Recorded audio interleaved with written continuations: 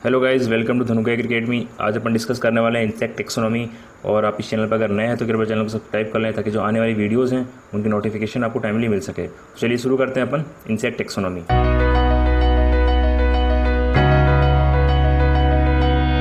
तो insect taxonomy समझने से पहले हमको समझना पड़ेगा किंगडम्स क्या होते हैं। टोटल फाइव किंगडम्स हैं animal kingdom plant kingdom fungi kingdom protista kingdom और प्रोमिस्टा या मोनेरा किंगडम तो हम यहाँ सिर्फ़ बात करने वाले हैं एनिमल किंगडम के बारे में, ठीक है?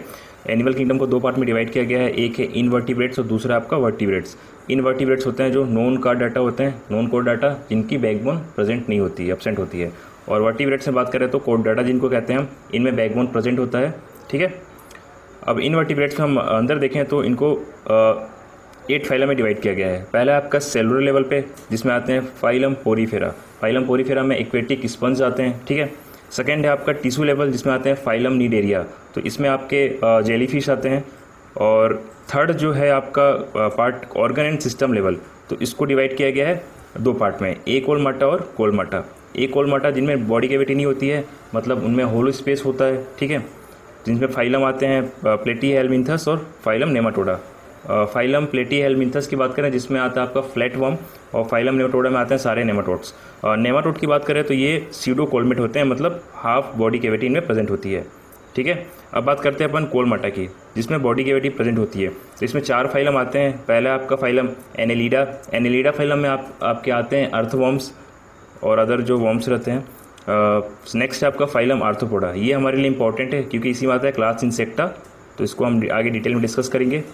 तो नेक्स्ट आपका फाइलम मोलस्का जिसमें आते हैं स्नेल्स और ऑक्टोपस नेक्स्ट आपका फाइलम इक्नोडर्माटा जिसमें आते हैं आपके स्टारफिश जो कि एक्वेटिक होते हैं, ठीक है? तो ये थे आपके इनवर्टिब्रेट्स अब हम बात करते हैं वर्टिब्रेट्स की। तो वर्टिब्रेट्स को आप देखेंगे, पाँच क्लासेस में डिवाइड किया गया है, ठीक है? ये पाँच क्लासेस कौन कौन से हम इन्हें देखते हैं। फ़र्स्ट है क्लास विशेष क्लास विशेष में दो सब कैटेगरी है, एक कार्टिलेजिनियस फ़िश और एक है बोनी फ़िश जो कार्टिलेजिनियस फ़िश रहते हैं, उन उनमें सार्क आते हैं, ठीक है? उनमें कार्टिलेज पाया जाता है, जो कि स्मूथ इलास्टिक टिश्यू होता है एक तरह से बोनी होता है। और सेकेंड है आपका बोनी फ़िश बोनी फ़िश में नॉर्मल या कॉमन फ़िश आते हैं जो कि रोहू, कतला एक्सेट्रा सेकेंड है क्लास एम्फीबिया क्लास एम्फीबिया में आपके आते हैं सेलमेंडर फ्रोग टोड ठीक है?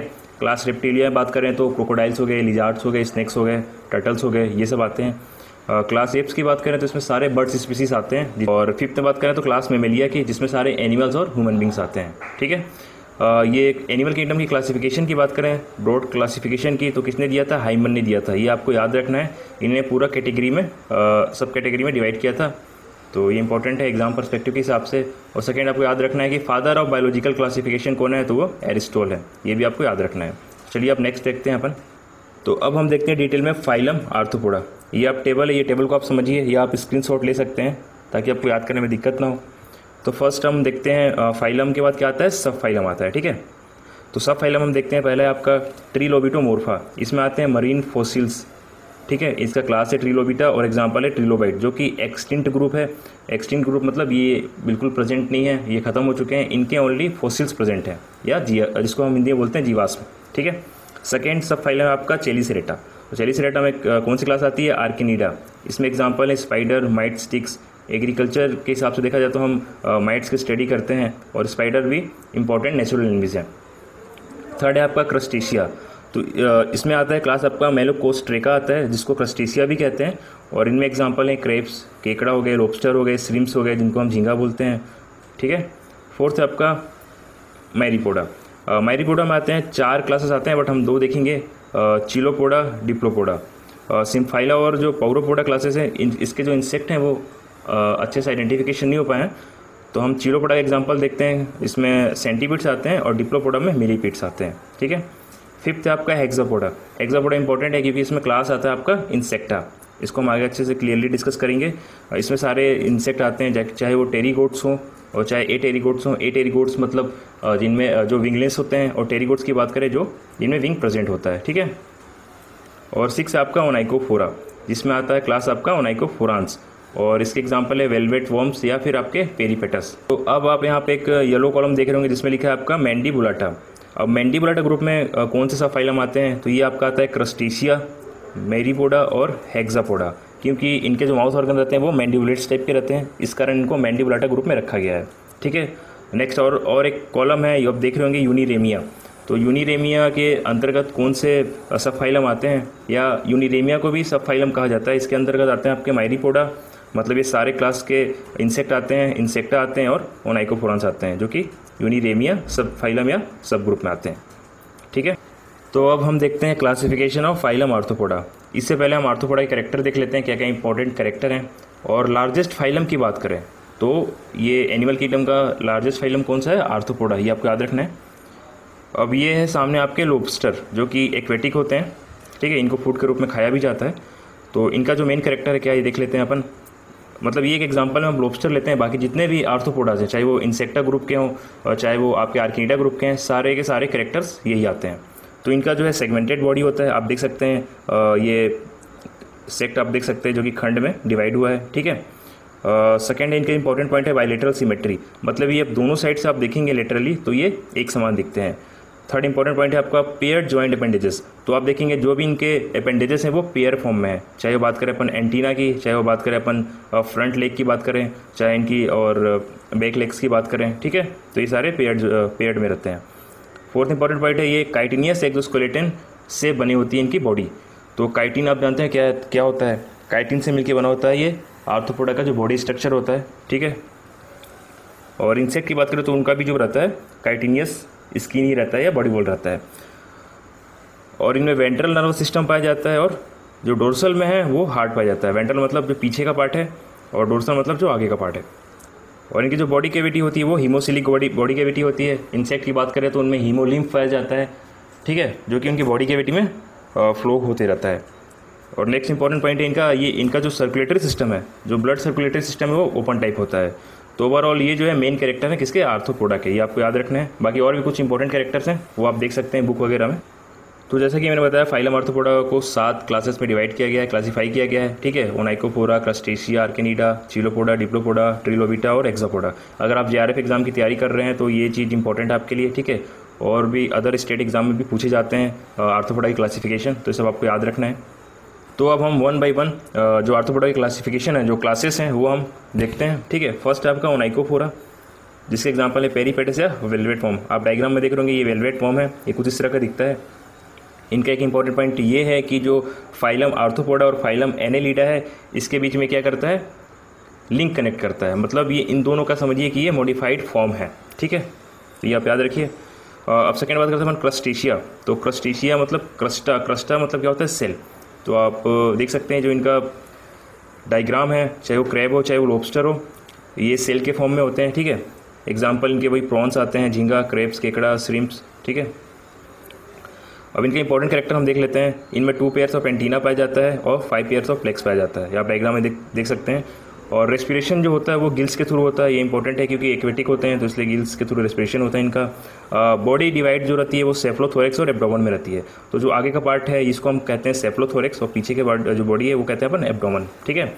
और इनमें एक एक्सक्रीटरी ऑर्गन पाया जाता है, जिसको हम कहते हैं ग्रीन ग्लांट्स जो कि पेयर के फॉर्म में होते हैं। ये सारे इनके थे इंपॉर्टेंट करेक्टर्स इनको आपको याद रखना है। तो अब नेक्स्ट अपन देखते हैं क्लासेस थर्ड है आपका क्लासेस आर्किनीडा ठीक है? इसमें जो आते हैं आपके स्पाइडर स्कॉर्पियन टिक्स माइट्स ठीक है? और इनका इंपॉर्टेंट कैरेक्टर हम देखते हैं। इनका जो रेस्पिरेशन होता है, वो बुक लंग्स के थ्रू होता है। ये वो इंपॉर्टेंट पॉइंट है और जारत में पूछा भी गया है तो आपको याद रखना है। बाकी हम अगर क्रस्टेशिया क्लास की बात करें तो उनमें किससे होता है रेस्पिरेशन गिल्स के थ्रू होता है, ठीक है? इनमें फोर पेयर्स ऑफ़ फ्लेक्स पाया जाता है और इनमें एंटीना अपसेंट होता है। आप देख सकते हैं डायग्राम में। और फोर्थ है आपका चिलोपोडा तो चिलोपोडा जो है, इसका एग्ज़ाम्पल है सेंटीपिट्स आप देखें सेंटीपिट्स जिसको हिंदी में कन खुजरा भी कहते हैं। और इनका जो फ़र्स्ट पेयर ऑफ़ सेगमेंट जो क्लॉ रहता है, ठीक है? जो आगे का इनका लेग्स रहता है, सबसे आगे का, इनमें क्या पाया जाता है? पॉइजन पाया जाता है। तो बस ये पॉइंट आपको याद रखना है। फिफ्थ है आपका डिप्लोपोडा ठीक है? डिप्लो मतलब टू होता है पोडा मतलब लेग्स और इसे एग्जांपल है मिली पिट्स आप देख सकते हैं, इनके जो लेग्स होते हैं वो मिली साइज़ के होते हैं, ठीक है? तो इसलिए इनका नाम मिली पिट्स रखा गया है। सिक्स नंबर है आपका ट्रीलोविटा जो कि एक्सटेंट ग्रुप है, जो बिल्कुल अभी प्रेजेंट नहीं है। आप डायग्राम में देख सकते हैं, ये एक जीवाश्म है, ठीक है? ये फॉसिल्स है, जो कि ये मरीन फॉसिल्स कहलाते हैं, क्योंकि ये एक्वेटिक थे। तो इनका कुछ इस तरह ये कुछ दिखते थे। अब बात करते हैं अपन लास्ट हेक्सापोडा ठीक है? हेक्सापोडा में कौन सा क्लास आता है? इंसेक्टा ठीक? अब इनके अपन कुछ करेक्टर्स देखते हैं, जो आपको पता ही होगा। इनका जो बॉडी रहता है, वो थ्री पार्ट में डिवाइड रहता है हेड थोरेक्स और एब्डोमन में। इनमें जो है थ्री पेयर्स ऑफ़ लेग्स पाया जाता है। आप देख सकते हैं, जितने भी एडल्ट फॉर्म के स्ट्रक्चर एडल्ट फॉर्म के जो इंसेक्ट हैं, ठीक है? और वन या two pair of wings present होता है one pair of antenna present होता है। टू पेयर ऑफ़ एंटीना किसके में था? क्रस्टेशिया क्लास में, ठीक है? ये आपका देखना है? रेस्पिरेशन के रेस्पिरेशन जो होता है वो इंटरनल एयर ट्यूब्स जिसको हम क्या कहते हैं? ट्रेकिया ठीक है? ये ट्रेकिया के थ्रू रेस्पिरेशन करते हैं। और इनमें क्या होता है? मेटामॉर्फिस पाया जाता है, जो कि इनकम्प्लीट या कंप्लीट होता है ड्यूरिंग डेवलपमेंट और इनका जो बॉडी रहता है, ठीक है? एक्जोस्केलेटर रहता है, वो किससे बने रहता है? क्यूटिकल से बने रहता है। काइटिन और क्यूटिकल से मिलकर बने रहता है।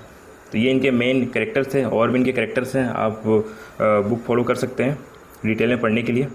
आपने आर्थोपोडा की क्लासिफिकेशन आपने समझ लिया होगा, ठीक है? अब एक टर्म आता है सिस्टमेटिक्स तो सिस्टमेटिक्स क्या होता है? सिस्टमेटिक एक साइंस है, जिसमें हम स्टडी करते हैं डाइवर्सिटी ऑफ़ ऑर्गेनिज्म ठीक है? जो भी जीवों में विभिन्नता पाई जाती है, और उनके बीच क्या रिलेशन है, वो कहलाता है आपका सिस्टमेटिक्स ओके तो सिस्टमेटिक के अंदर हम क्या पढ़ते हैं? टेक्सोनॉमी और इवोल्यूशन ये इसके मेन कैटेगरी हैं सिस्टमेटिक्स के। वो आगे हम देखते हैं टेक्सोनॉमी क्या होता है। और टेक्सोनॉमी जो है, इनके फादर हैं कार लिनियस ये आपको याद रखना इंपॉर्टेंट है। और टेक्सोनॉमी क्या साइंस है? टेक्सोनॉमी में हम क्लासिफिकेशन ठीक है? किसी भी जीव का क्लासिफिकेशन करते हैं, उनका वर्गीकरण करते हैं, या उनको ऑर्डर में जमाते हैं। तो ये चीज़ कहलाती है टेक्सोनॉमी ठीक है? और टेक्सोनॉमी के अंदर हम क्या पढ़ते हैं? नॉमन क्लेचर और क्लासिफिकेशन तो जो एक्चुअल क्लासिफिकेशन है, वो किसके अंदर पढ़ते हैं? हम टेक्सोनॉमी के अंदर। नॉमन क्लेचर क्या होता है? नॉमन क्लेचर हम किसी का भी नामकरण करते हैं, ठीक है? तो ये चीज़ हम आगे डिटेल्स में देखते हैं। टेक्सोनॉमी की स्टेजेस की बात करते हैं अपन। तो ये तीन कैटेगरी में डिवाइड किया गया है। एक है अल्फ़ा दूसरा बीटा और तीसरा गामा अल्फ़ा टेक्सोनॉमी में हम क्या करते हैं? अल्फ़ा टेक्सोनॉमी हम नेमिंग और करेक्टराइजेशन करते हैं स्पीसीज़ की, ठीक है? किसी भी स्पीसीज़ का हम क्या करते हैं? करेक्टर देखते हैं और उनका नेमिंग करते हैं। ये आता है आपका अल्फ़ा टेक्सोनॉमी में। जहाँ तक कि नॉमन क्लेचर की बात करें तो ये अल्फ़ा टेक्सोनॉमी में आएगा। सेकेंड जो है आपका बीटा टेक्सोनॉमी इसमें आता है क्लासिफिकेशन मतलब हम किसी भी ऑर्गेनिज्म का या फिर इंसेक्ट का क्या करते हैं? क्लासिफिकेशन करते हैं, वर्गीकरण करते हैं। थर्ड आपका गामा टेक्सोनॉमी इसमें हम क्या करते हैं? इसमें हम स्टडी करते हैं इवोल्यूशनरी रिलेशन और फाइलोगेनी फाइलोगेनी मतलब इंसेक्ट कहाँ से इवॉल्व हुए हैं? तो उनके पूरी जो पिछली प्रजाति है उसका स्टडी किया जाता है। और इवोल्यूशनरी रिलेशन में मतलब जो इंसेक्ट इवॉल्व हुए हैं, उनका कैसे दूसरे के साथ संबंध है या रिलेशन है? ठीक है, ये गामा टेक्सोनॉमी में आता है। अब देखते हैं हम क्लासिफिकेशन का बेसिस क्या है। तो क्लासिफिकेशन के बेसिस की बात करें अपन तो किसी भी ऑर्गेनिज्म को क्या करना? ऑर्डरिंग करना। Large group of organism based on certain character into small group किसी भी ऑर्गेनिज्म को क्या करते हैं? उनके कैरेक्टर को देख के, उनको स्मॉल ग्रुप में क्या करते हैं हम? डिवाइड करते हैं, उनको उनको ऑर्डर में रखते हैं। ठीक है? ये होता है एक क्लासिफिकेशन का बेसिस अब जो क्लासिफिकेशन का बेसिस होता है किसके ऊपर बेस्ड होता है? इवोल्यूशनरी रिलेशनशिप पे, ना कि सुपरफिशियल रिसेम्बलेंस पे। इवोल्यूशनरी रिलेशनशिप बता जैसे मैंने आपको बताया कि जो इंसेक्ट इवॉल्व होते हैं या जो पहले के जो इंसेक्ट्स पाए जाते थे, ठीक है? थोड़े एशियन टाइम की बात करें तो वो किस तरह इवॉल्व हुए और उनका क्या रिलेशनशिप है, इस बेस पे हम करेक्टर देख के क्लासिफिकेशन करते हैं। सुपरफिशियल रिसेम्बलेंस की बात करें तो हम उनकी जो बेसिक स्ट्रक्चर की बात करें, वो देख के हम जज नहीं करते हैं या उनको क्लासीफाई नहीं करते हैं। तो ये जानना ज़रूरी रहता है कि इंसेक्ट कहाँ से इवॉल्व हुए हैं और उनके करेक्टर मैच कर रहे हैं कि नहीं कर रहे हैं। ये चीज़ देखा जाता है। और कुछ जैसे कि बात की जाए एक्सटर्नल स्ट्रक्चर देखा जाता है, ठीक है? इंटरनल करेक्टर देखा जाता है, उनकी डेवलपमेंटल हिस्ट्री देखी जाती है, और इनकी फिजियोलॉजिकल डाटा देखी जाती है कि ये इनका जो फिजियोलॉजिकल ऑर्गन है या फिर फिजियोलॉजिकल प्रोसेस है, वो कैसे होता है। और साइटोजेनेटिक डाटा देखा जाता है कि वो किस किस इंसेक्ट के साथ उनका जीन मैच कर रहा है क्या वो उसी प्रजाति के हैं कि नहीं है। इस बेस पे क्लासिफिकेशन टोटल किया जाता है। अब बात करें बायोलॉजिकल सिस्टम ऑफ़ क्लासिफिकेशन जो कि जिसको हम क्या कहते हैं हियरार्चिकल कॉन्सेप्ट ऑफ़ क्लासिफिकेशन ये आपको याद रखना है, जो बायोलॉजिकल सिस्टम ऑफ़ क्लासिफिकेशन है, वो क्या है? हियरार्चिकल कॉन्सेप्ट क्लासिफिकेशन और सबसे पहले इंट्रोड्यूस किसने किया था? कार्ल वोन लीनियस ने किया था सेवेंटी फिफ्टी एट में। ये इंपॉर्टेंट पॉइंट आपको याद रखना है। अब आप फिगर में देख लोगे स्पोरोप्टेरा ल्यूटीरा जिसको हम बोलते हैं टोबेको कैटरपिलर या कटवॉम तो इनका हम टेक्सोनॉमिक इनका हम सिस्टमेटिक पोजीशन देखते हैं कि किस किस कैटेगरी में इनको डिवाइड किया गया है। तो फ़र्स्ट आता है आपका जो स्पोरोप्टेरा की बात करें तो उनका किंगडम क्या है? एनिमिलिया है, ठीक है? सारे आर्थोपोडा का किंगडम एनिमिलिया होता है। अब फाइलम की बात करें तो आर्थोपोडा है, ठीक है? अब सब फाइलम की बात करें, मैंने आपको फ़र्स्ट टेबल में बताया था यूनी रेमिया जो कि यहाँ पे लिखा नहीं है, ठीक है? तो ये यूनी रेमिया सब फाइलम में आते हैं। इनका क्लास क्या है? इंसेक्टा है, ठीक है? अब मैंने ग्रीन कलर में शो किया है सब क्लास सब ऑर्डर सब फैमिली और सुपर फैमिली और सब फैमिली। तो ये ऑप्शनल रहते हैं इनको इंक्लूड आप आ, कर भी सकते हैं या नहीं कर सकते हैं। बाकी बाकी जो चीज़ें हैं जो बाकी सिस्टमेटिक पोजीशन है जैसे कि किंगडम फाइलम या सब फाइलम तो ये लिखना इंपॉर्टेंट रहता है। ठीक है? और क्लास के बाद सबसे इंपॉर्टेंट चीज़ क्या आता है? ऑर्डर हम ऑर्डर देखते हैं कि लेपिडोप्टेरा है कि कोलियोप्टेरा है या फिर हेमिप्टेरा है तो कैटरपिलर कौन सा ऑर्डर में आता है? लेपिडोप्टेरा में आता है। ठीक है? इनकी फैमिली की बात करें तो ये नोक्ट्यूडी में आती है। नोक्ट्यूडी क्या मतलब होता है? ये नोक्ट्यूडनल होते हैं ये रात को ही एक्टिव होते हैं ठीक है? ये इनका मेन करेक्टर है इस कारण फैमिली जो है इनके नोक्ट्यूडी में रखी गई है। बाकी आप बात करें हेल, हेलिकोर पार्मीचेरा ग्राम पोर्ट बरर तो उसकी फैमिली नोक्ट्यूडी आती है। मोस्टली जो मोथ होते हैं वो उनकी फैमिली क्या आती है नोक्ट्यूडी आती है ठीक है? अब जीनस इनकी क्या है? स्पोरोप्टेरा जो कि इनका साइंटिफिक नेम है और स्पीसीज ल्यूटेरा ठीक है? तो स्पोरोप्टेरा ल्यूटेरा इनके क्या हो गया? जीनस स्पीसीज हो गया। तो इस तरह हम क्या करते हैं? सिस्टमेटिक पोजिशन बनाते हैं। तो अब बात करते हैं अपन फ़ंक्शन ऑफ़ स्पीसीज जैसे कि बात हम कर रहे थे अभी स्पोरोप्टेरा ल्यूटेरा की तो ल्यूटेरा जो स्पीसीज है, उनके मेन क्या फ़ंक्शन है? तो रिप्रोडक्टिव कम्युनिटी उनकी होती है। मतलब जो सेम स्पीसीज हैं, वो आपस में क्या कर सकते हैं? मेटिंग कर सकते हैं रिप्रोडक्शन कर सकते हैं। ठीक है? सेकेंड है इकोलॉजिकल यूनिट तो इकोलॉजिकल यूनिट की बात करें मतलब वो सेम हैबिटाट में जाते हैं। और जो उनके फ़ूड होते हैं फ़ूड सोर्स होते हैं, वो भी सिमिलर टाइप्स के होते हैं। जेनेटिक यूनिट की बात करते हैं तो जो सेम स्पीसीज़ है तो उनका जो जीन है, वो एक दूसरे से मैच करता है। तो ओवरऑल ये इनके फ़ंक्शंस हैं, ठीक है? अब अपन बात किए थे नॉमन क्लेचर की, ठीक है? नॉमन क्लेचर क्या है? किसी का भी ऑर्गेनिज्म का नेमिंग करना, नामकरण करना ही नॉमन क्लेचर कहलाता है। तो हम नॉमन क्लेचर दो टाइप से करते हैं फ़र्स्ट है कॉमन नेम और दूसरा है साइंटिफिक नेम ठीक है? इसको आगे हम देखते हैं। फ़र्स्ट हम बात करते हैं कॉमन नेम कॉमन नेम जो नॉमन किया जाता है, वो किस बेस पे किया जाता है? वो डिपेंड करता है region to region country to country जो लोकल लैंग्वेज में अगर आप बात करें तो लोकल लैंग्वेज में लोग नेमिंग उसी कर देते हैं। जैसे कि एफिट की बात करें तो लोग माहू कहते हैं, ठीक है? और भी अदर लोकल नेम्स हैं तो ये डिपेंड करता है। बात किया जाए ग्रासोपर की सॉरी लोकस्ट की बात किया जाए तो इसको यूरोपियन कंट्रीज़ में काडा कहते हैं, ठीक है? और कुछ अदर कंट्रीज़ में क्या कहते हैं? शॉर्ट हॉर्न ग्रासोपर और कॉमन नेम की बात करें तो ये हर जगह अवेलेबल नहीं होता है। जैसे कि बात करें स्क्वेस बक की, ठीक है? तो ये जो है स्क्वेस बक ये एक ही नाम है, इसका अदर कॉमन नेम नहीं है। थर्ड इंपॉर्टेंट पॉइंट है इसका कॉमन नेम क्या रहता है? कभी कभी डिफरेंट ऑर्डर के जो इंसेक्ट रहते हैं, ठीक है? उनके सेम टाइप की कॉमन नेम भी रखा जाता है। जैसे कि बात करें अपन हाउस फ्लाई और ड्रैगन फ्लाई तो हाउस फ्लाई कौन से ऑर्डर का है? डिप्टेरा ऑर्डर का है। और ड्रैगन फ्लाई की बात करें तो ओडोनाटा ऑर्डर की है। बट ये दोनों डिफरेंट इंसेक्ट हैं डिफरेंट ऑर्डर के हैं, ठीक है? डिफरेंट स्पीसीज़ के हैं बट जो नेम है वो थोड़ी सी कॉमन है फ्लाई फ्लाई होमोनिम की बात करें मतलब एक जैसा एक समान. तो कभी कभी हम क्या करते हैं? दो डिफरेंट ठीक है? टाइप के इंसेक्ट जो रहते हैं, उनका सेम नेम कर देते हैं. जैसे कि एग्जांपल बोल बम कॉटन में जो इंपॉर्टेंट पेस्ट लगते हैं, उनको हम क्या कहते हैं? बोल बम कहते हैं। जैसे कि अमेरिकन बोल बम हो गया, जो कि हेलिका और पार्मीजेरा है पैक्टिनो फोरा हो गया, जो कि इसको हम क्या बोलते हैं? पिंक बोल बम बोलते हैं। तो वो सेम नेम हो गया, ठीक है? अब हम बात करते हैं सिनोनिम या समानार्थी। तो कुछ इंसेक्ट रहते हैं जिनके हम एक से ज़्यादा नाम रखते हैं या प्रेजेंट होते हैं। जैसे कि बात करें अपन ग्राम पोर्ट बोरर, ठीक है? जिसको अमेरिकन बॉलबॉम भी कहा जाता है, ठीक है? इसका साइंटिफिक नेम क्या है? हेलीकोरपा आर्मीचेरा तो ये था कॉमन नेम दोस्तों, हमने कॉमन नेम देखिए नॉमन का। अब हम देखते हैं साइंटिफिक नेम साइंटिफिक नेम किस बेस पे किया जा, रखा जाता है? तो ये जो रूल होता है, ये international court for zoological nomen के हिसाब से होता है, ताकि जो सारे जगहों में एक जैसा नाम हो, ठीक है, एक जैसा नाम रखा जाए। तो ये कौन तय करता है? International court for zoological nomen अब इसके अंतर्गत आते हैं बाइनोमियल नॉमन और ट्राइनोमियल नॉमन बाइनोमियल नॉमन क्या होता है? जिसमें ओनली हम क्या करते हैं? जीनस और स्पीसीज का नेमिंग करते हैं। मतलब बस ओनली टू नेम का यूज़ होता है। जैसे कि स्पोरोप्टेरा ल्यूटेरा ठीक है?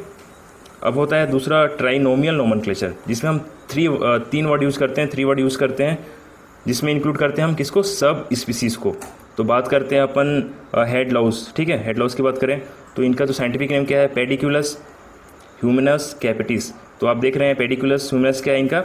ये जीनस है, ये इनका स्पीसीज है और ये कैपिटस क्या है? इनका सब स्पीसीज है।